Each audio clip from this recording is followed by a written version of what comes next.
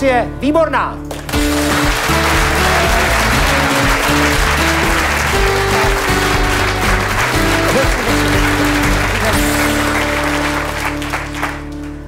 Dobrý večer. Dobrý večer. Knihu jsem vám přinesla jako dárek.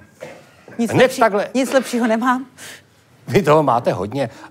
Uh, kniha Mezi světy. Uh, nedávno vydaná. No, tak asi rok a půl. Před rokem a půl jste ji napsala. Lucie Výborná z Hodkoviček, abych to tady Ano, to doplnil. jsem já. Tady jsem. A to vy si dodáváte jako, takhle ty Hodkovičky? Ne, já... To Je šlechtický nějaký titul? Ne, právě, že vůbec, ale... Jste ale výborný a ještě musíte dodat z Hodkoviček.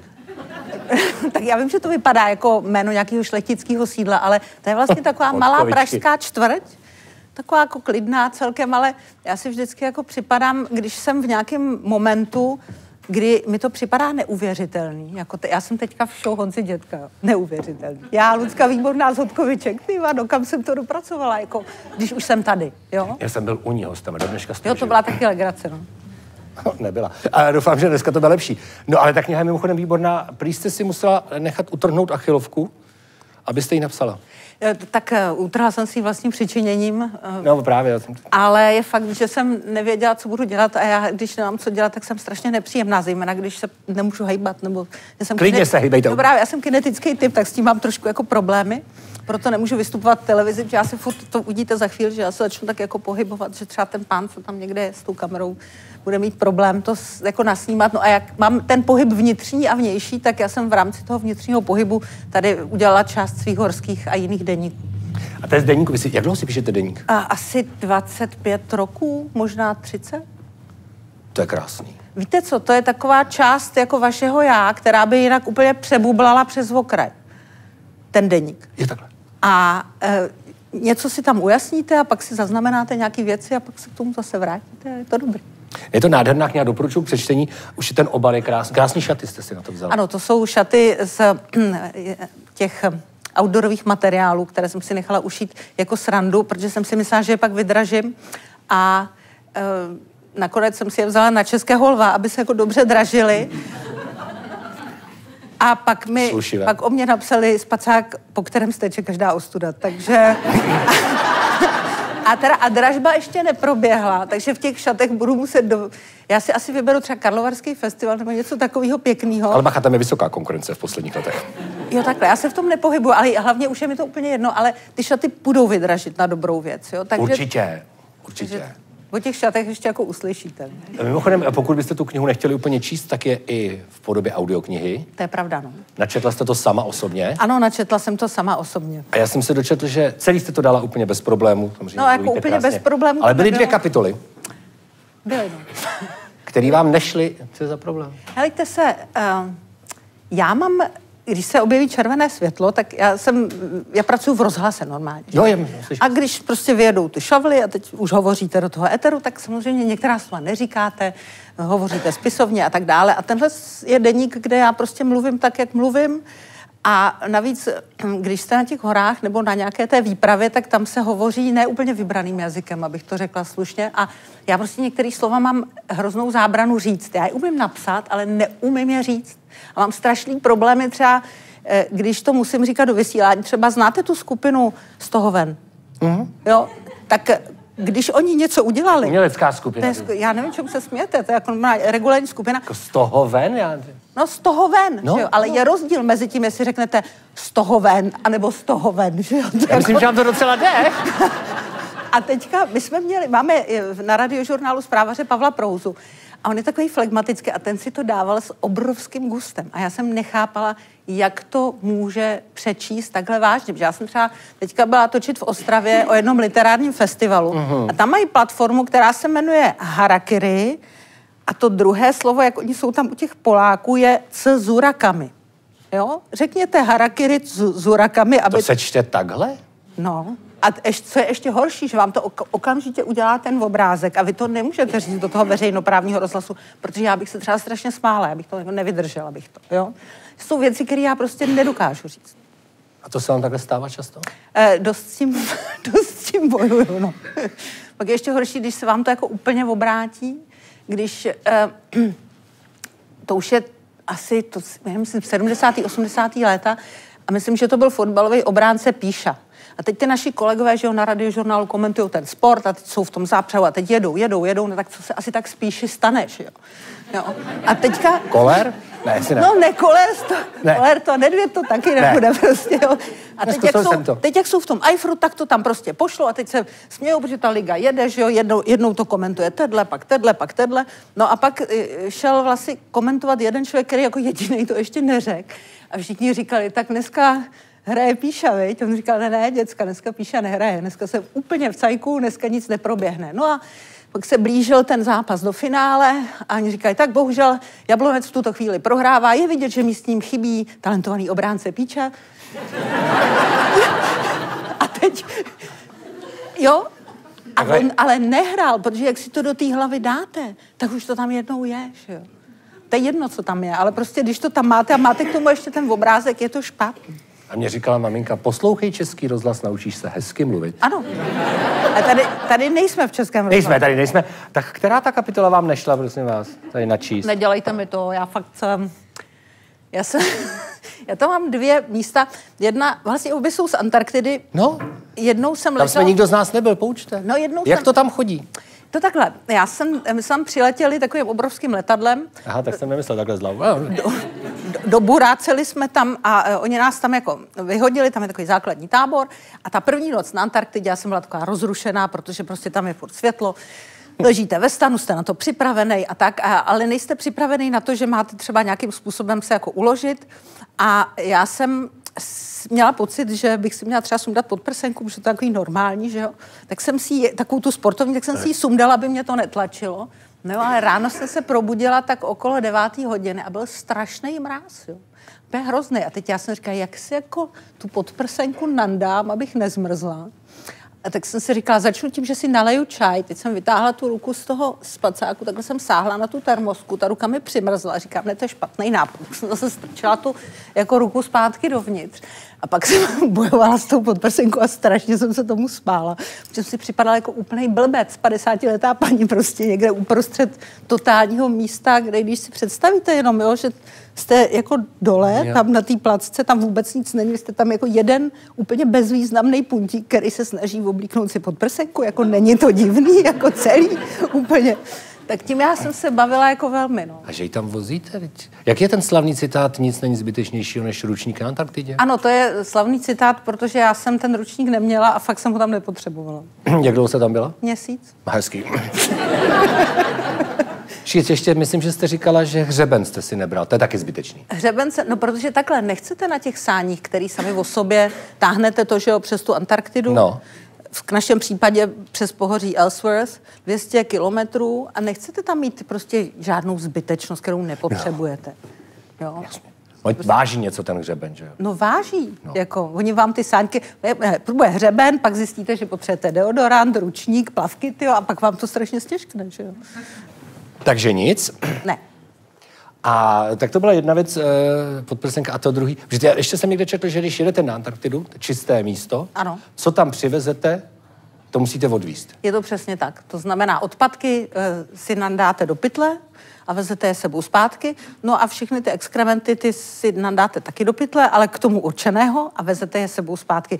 E, kamarád Hinek, e, s kterým jsme na té Antarktidě byli, tak prohlásil jednu úplně senzační větu, e, protože nás ved e, jiný prostě kamarád, který je senzační horský vůdce, profesionál, nás vedl nahoru, na, na nejvyšší horu Antarktidy, my jsme ji vylezli, pak jsme slezli a teď jsme si chtěli ty věci rozdělit zpátky na ty sáňky.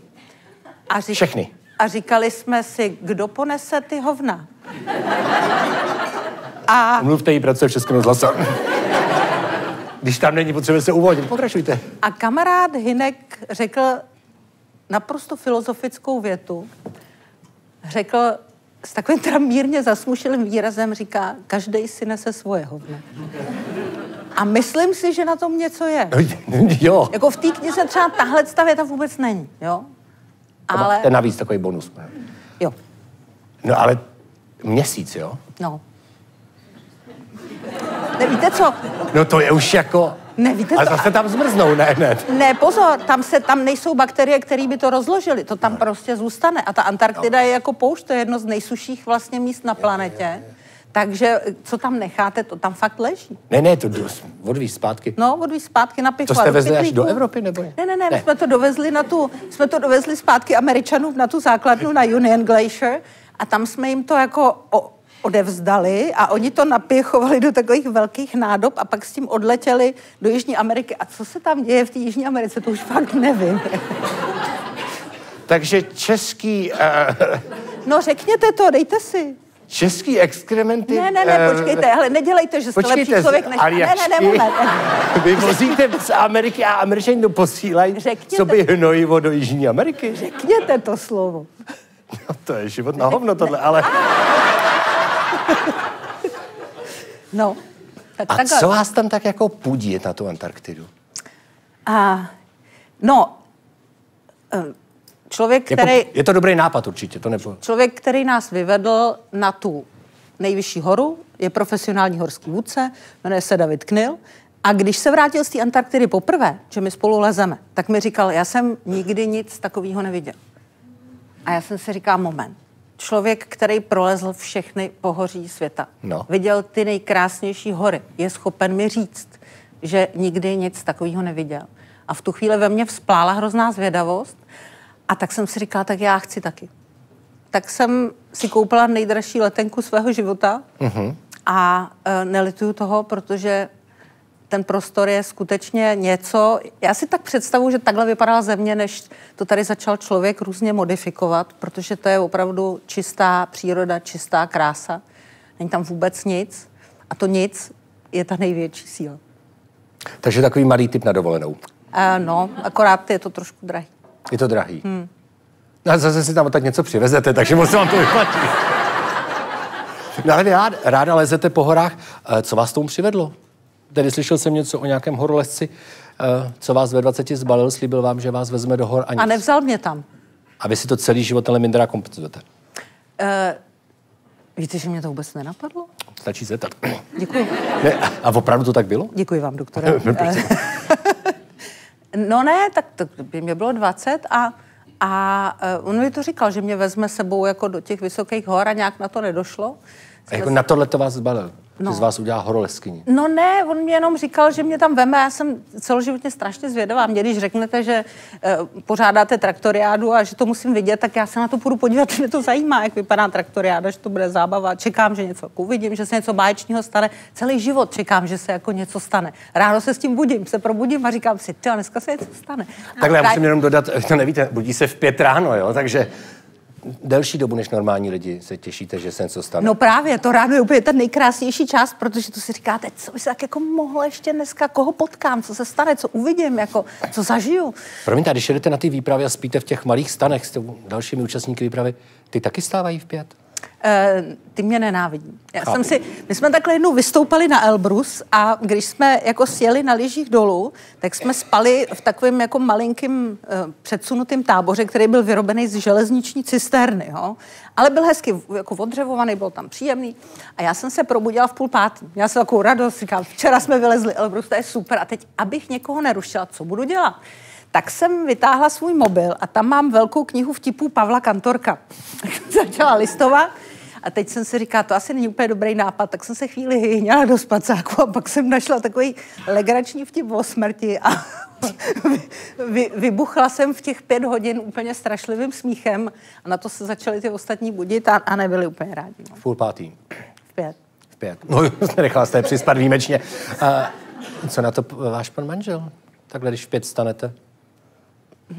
A oznámíte, že někam jedete. Dneska traktoriáda, zítra Antarktida. Ne, no, tak, takhle to vyloženě nemáme, ale uh, tak já většinou jsem se naučila už ty, protože vím, že to někoho, že já se fakt, večer už nic, já jsem večer chcípla, ale ráno já se budím s takovou radostí a teď jako nemůžete někoho, kdo naopak prostě ještě v sedm hodin nebo v devět se tak plouží po tom bytě a vypadá, že zemře, tak tam nemůžete okolo něj běžet a říkat, hurá, dneska je to super. Musíte jako opatrně. Takže já jsem se naučila na všechny ty lidi, kteří se pohybují v mém okolí, už jako dávat pozor. A třeba si vemu kecky a jdu se vyběhnout ven, že psovi to nevadí, že jo. Ale těm ostatním by to vadit mohlo. Takže já jsem šetrná. Ráno. jste říká, že večer jste už unavenější. Jsem. Teď je večer. No a ještě není úplně pozdě večer. Kdyby Jako bylo říct, že devět, ráno to je hmm. úplně to smršť. tak normálně, no. No, co je normální ve vašem případě. A uh, vy jste se s panem manželem dali jak? Nebo co na to, když vy řeknete odjíždím? E, tak jsou některé místa, kde si to vyloženě nepřál. Třeba? A, Afganistán. To celkem chápu. No, tak tam jako Říkal... říkal... si koupit letenku? Nebo to je slečna, to nevidím dálku. Třeba už jí to jenom Poslední letenky na Antarktidu? třeba jí to jenom nebaví, ale no tak to nebyl vyloženě rád a říkal, hele, to jako mně nepřipadá dobrý nápad. A Ale všechno ostatní, a bavili jsme se o bezpečí a tak dále, tak to jako, to, to, to jako, jenomže uh, on dělal sumo, ale byl vícemistr světa. Ano. A uh, ono to sumo jako není zdravý sport, protože musíte jako dospět do nějaké velké hmotnosti a potom vlastně... Podsaď mi to šlo. No a potom a musíte trénovat, takže to srdce zatěžujete, přetížíte ho, že jo, přetěžujete klouby, všechno. A já jsem se ho nějakou chvíli ptala, jestli mu to za to stojí a proč mu to za to stojí. A když mi to jako vysvětlil, tak vlastně, tak jsem říkala, OK, dobře. Teďka eh, já zase mám to svoje a on ví, proč mi to za to stojí, tak taky neříká, jako že bych měla sedět doma a míchat si čaj a dávat si dortiček. A Vídáte se často? Eh, ano, občas. On je, on je na závodech sumo, vy jste v Ne, ne, ne, on, on kariéru ukončil v roce 2008 nebo 2009, takže normálně. A takže vy jste ho podpořila, on podpoří vás. A když mu to sdělujete, když se vrátíte z těch cest a jste nadšená, že jste byla na osmitisícovce a tak, jak on to jako vezme? No, eh, já jsem, mm, on, on, on, on k tomu má takový jako klidnější vztah, takže já jsem mu líčila, že se, jsem byla lézt na nějaký hoře a že No. jsem se, a byla to 4 tisíc, bylo to krásně, šli jsme nahoru prostě od rána a pro, prokličkovali jsme ty trhliny a tam byly ty séraky, jsou obrovský kusy ledu. Teď se to leskne v tom ranním sluníčku, je to prostě nádhera, to je architektura, to jsou ledové sochy, to prostě sochař takovou fantazii nemá. Teď tam vylezete naho, nahoře, jste šťastný, rozhlížíte se pod váma Alpy, je to krásný. Pak skočíte na lyže, jedete dolů a teď prostě, a teď přijdete domů a říkáte, já jsem byla, a teď to líčíte a tak. A tam sedí a tak se jako na mě dívá a říká, jasně. Takže snížek, dřívka. Tak je hezký, že má pochopení pro vaše záliby. Ne, takhle, já už to, já už to vlastně ani neříkám potom. Že vím, že bude zase snížek dřívka a že to vůbec nemá cenu. No jo, no to ono je to většinou A snížek ono je to stejný, No, snížek, dřívka. A nebo jenom snížek, ale Ty dřívka Alpy, nejsou. Himalaj, no, no, no, vlastně no. jedno. No. Ještě si pořád vykáte? Ano, Jsi stále, z... jak jste spolu dlouho? 20 let. No, no tak, no, tak na začátku to si lidi ještě vykají, to je fakt. A co vás to napadlo, nebo? My jsme si nikdy nestihli potykat. Já jsem říkal, že se moc nevidíte. Ne, tak jako ne, ne, že bychom se neviděli, jako jo, ale prostě nějak jsme si nestihli potykat. No. A jako bez výjimek? Bez výjimek. To je neuvěřitelný. No, máte dceru. Ano. A co ta na to, když uh, se seberete a odjedete? Nebo nechce někdo je, z nich jet s vámi? Nikdy. Nechápu. Nikdy. Snížek, dřívka a nic. Ne, prostě ne. Jo. No a dcera vás pouští? No, jo. Neříkáte to moc přesvědčivě. No já nevím, jako je to takový, já, já vždycky říkám, že pojedu Ano. a dcera je teď v pubertě, nebo jí tak jako končí to pubertální období, takže jako já jí připadám, myslím, trošku trapná. Jako, která zase paní s Baťohem přijela domů. Ty, jako, Kam jedeš? Do Himalají. Trapný. no, no, no, ne, tak ale já, já, ne, Přines mi Yetiho. já neodjíždím na dlouho, jo, takže tak on to není takhle šílený.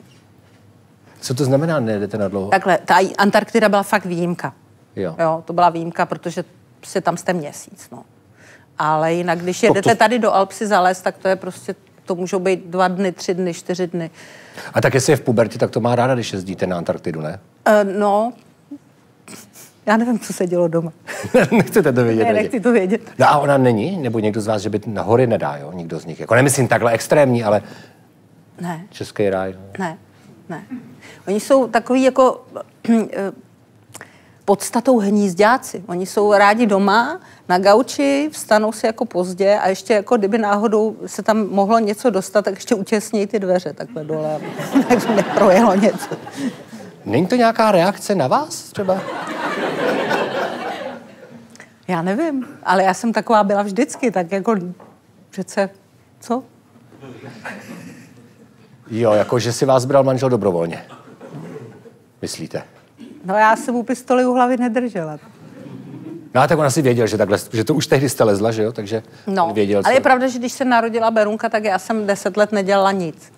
Až teprve v roce 2014, když jel Radek Jaroš na K2, tak jsem jela jako reportérka se tam jako účastnit toho úspěchu, Jo. o kterém se ještě nevědělo, jestli to teda bude úspěch nebo ne. No teď si z toho děláme trošku legraci, ale tak tam vždycky to je trochu na hraně života. Co pak se o vás nebojí? Nebo vy se nebojíte? No, když jsem na tu K2, tak je pravda, že eh, jak pracuju, radiožurnál je hodně zpravodajství. Ano. A některý moji kolegové jsou strašně cynický už po těch letech, moje brutálně. A teď já měla ten batoh s těma vysílacíma potřebama, satelitní různý zařízení a tak. A odcházím z toho newsroomu a říkám, tak děcka, mějte se tady a tak. A vyběh za mnou náš editor Petr Bušta říká, prosím tě, máš připravený nekrolog na toho Jaroše, jo? A já jsem říkala, no nemám. A on se na mě podíval a říkal, no vidíš, a my už tvůj připravený máme. A já jsem, já jsem úplně v klidu, úplně v klidu jsem vlezla do výtahu, zmáčkla jsem to tlačítko, jedu do garáží a v té garáži mi to došlo a říkám, co když nekecal? Tak jsem se vrátila zpátky, zalogovala jsem se do počítače, dala jsem výborná nekrolog a byl tam. Fakt tam Nebudu byl? se ptát, co tam bylo. Uh, já Ale si- zase aspoň víte, co o vás napíšou. Ne, já to jsem si to nepustila. Nepustila. Ne. Jsem nenašla odvahu. Mělo to dvě minuty třicet, to je docela slušný čas na vysílání radiožurnálu. No tak než vyjmenovali ty všechny hory, co jste vylezla. Ne, to tam právě jako, jako ne, proč by to říkali, že jo? Já si tak představuji, že to bylo něco jako Co o si tom, představujete, že říkali? že tam hovořili jako um, o mém přínosu pro rozhlasovou tvorbu. Teda, v téhle zemi.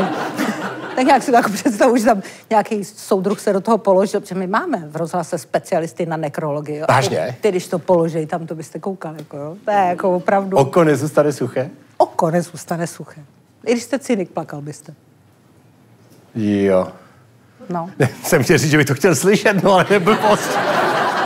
no, já jsem nedávno, vy jste dělal s klukama z divadla Mír. Ano. jo? Vynikající. No a já jsem nedávno s nima uh, hovořila taky a bavili jsme se hrozně a já jsem, uh, já jsem si v hlavě vytvořila takový koncept, který se jmenuje cvičný pohřeb. Jo. Že byste jako Já jsem rád, že to zakončíme tak veselé. Pojďte. Ne, počkejte, že byste jako umřel, jo? A teďka, ale jako, že byste, ne, že byste umřel doopravdy, ale teďka byste měl ten pohřeb a oni by tam stáli a teď by jako říkali ty věci o vás a vy byste někde vzadu seděl a vlastně byste se dozvěděl jako, jako, jak to ve vztahu k vám bylo, jenom takový cvičný pohřeb, jako, jo. A já jsem to navrhla tomu uh, Štěpánovi Kozubovi, říkám, tak tady třeba Bertík umřel, co byste jako, a teď se na mě podíval, jako kdybych se úplně zbláznila, ale já to myslím vážně, mě by to jako zajímalo, co by se tam dělo. Vy nejste zvědaví, co budou lidi říkat, až tady nebudete. Ne. Mně stačí, co říkají dneska. A věřte, občas se mi z toho chce umřít. Tak ještě počkejte. No ještě s tím určitě počkáme. Nicméně vy říkáte, že e, váš velký sen je mít dva měsíce prázdnin. No, A že už je jako na čase si o to říct v tom rozhlase? a no, ano. Budete si letos říkat o dva měsíce prázdnin? Já jsem si loni řekla, dostala jsem je. To úplně neuvěřitelný, ale zase jsem říkala, já tu práci dělám 30 let, já to dělám opravdu dlouho a chtěla bych mít jednou dva měsíce prázdnin, jakože nemusíte vůbec nic, jo, protože uh, když ke mně přijde nějaký host, který napsal knížku nebo natočil film nebo prostě pořádá výstavu, no tak já to musím přečíst, že vy jste to taky čet, tamhle tu prostě věc, jo. Pardon, ale vy přečtete tři knihy za večer, jste někde říkala. Ne, třeba tři knihy za týden, jo. Ale pak Říkala máte... jste za noc, tak já mám Ale pak, mindráky. má, ale pak máte takovouhle haldu knížek, který si chcete číst jako pro sebe a už to jako nejde. Prostě to nejde. No. Tak, tak když máte ty dva měsíce prázdnin, tak můžete prostě lézt a běhat a, a prostě být s lidma, který máte rád a číst. A to, to si jako bych ráda, kdyby mě ještě český rozhlas třeba letos jako dopřát. Že byste dostala dva měsíce prázdnin a četla byste o lidech, kteří nejsou vašimi hosty. No, tak já nevím, ale třeba Marcus Aurelius už mým hostem nikdy nebudeš, jo. Patrně ne. A to je třeba A rozhovor... já bych ho nezval, má strašně málo sledujících na Instagramu.